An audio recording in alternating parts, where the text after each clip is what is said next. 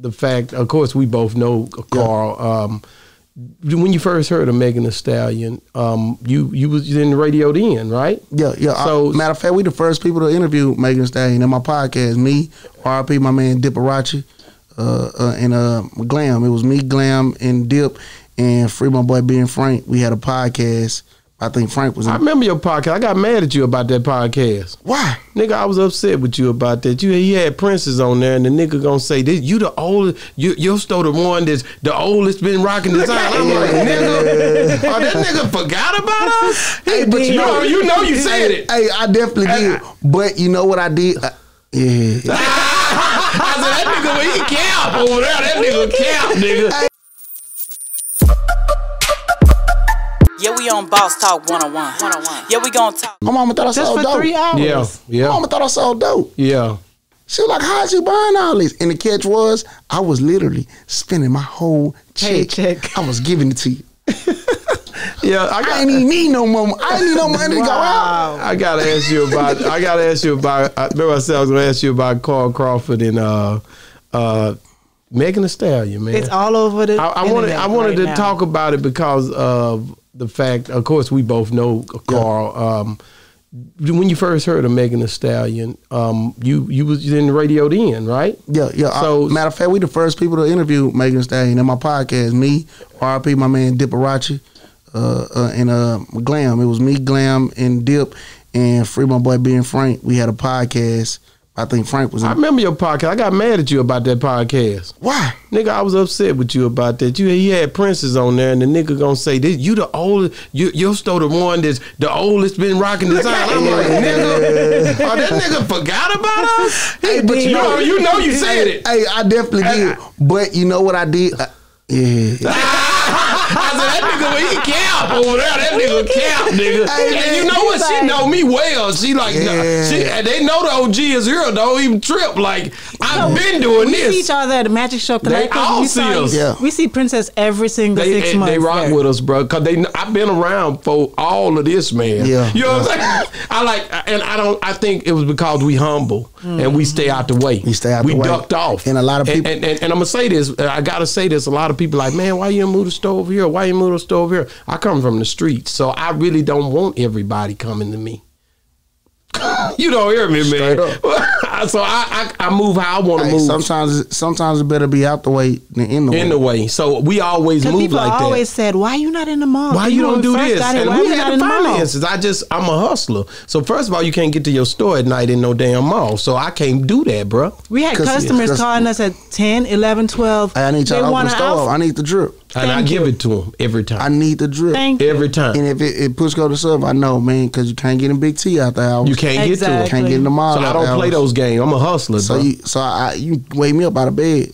Mm-hmm. You know what? Hey man, you know, hey man, you know, hey man, if I get up now, you know, Don't waste up, my you can time. put your price on Come it. on now, hey, hey, hey, hey. So you get it. Come on, man, it's a sleeping nigga fee. I'm an old man now. They start saying shit like, I'm an old man. Now. That's I'm, me. I'm in the bed. You know, I'm normally in I the got bed. man. family. Man, You know, I'm in out, the hey, nigga, I'm thinking about fat bastards. This nigga worried the Right. hell out of me, man.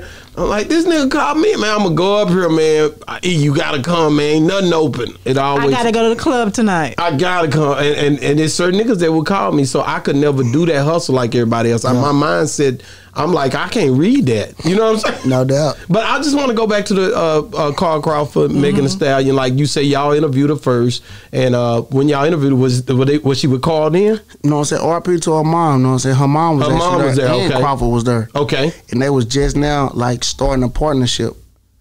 So you know what I'm saying? Like when we interviewed her, we actually booked her at our club. You know what I'm saying? We had rumors at the time.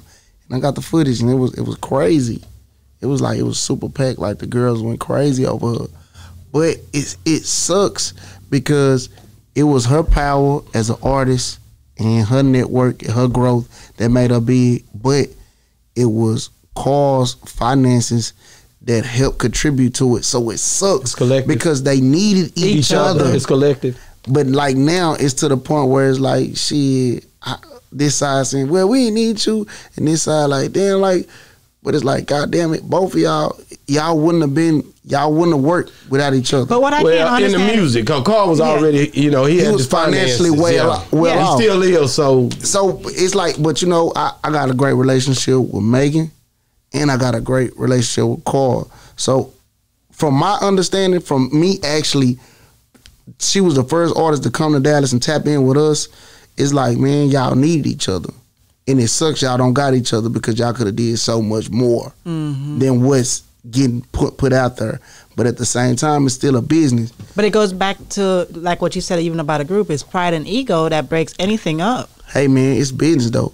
The catch is, hey man, Carl had her riding around and being being sprinters, two of them, had her riding with thirty girls everywhere she go. You couldn't do that on your own finances.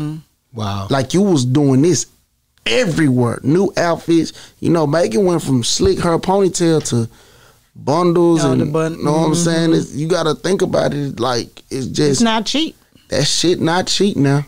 But what I can't understand is, I know with going back and forth with all the court cases and all of that, why she don't just go ahead and give him what he wants so she can move on with her life. You know, and because can't- when you a talented artist, you can create so much more and just be great. Yeah, but it's it's like she she she got the right to feel like she she feel like she worked for that.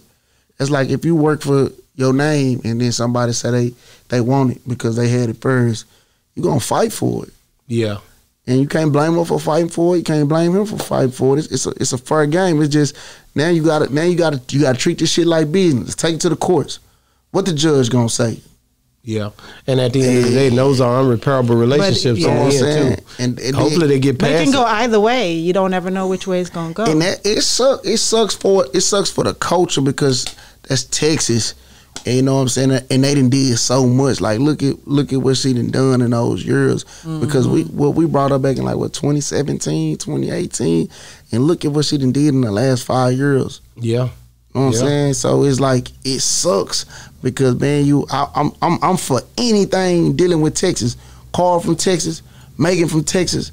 I'm for everything that's Texas. That's how we you, are. You know what what I'm I'm saying. saying? Yeah, mm-hmm. that's, you, you in the you in the midst of it right now. Shit, nigga. so I want I want everybody to win, and it sucks. They got to deal And with all made that Texas shit. Texas great again. You know what I'm saying? You know, it sucks. they got to deal with that shit, but at the meantime, you know, it's still business now. It's Right. business. Yeah, we on Boss Talk 101. 101. Yeah, we gon' talk.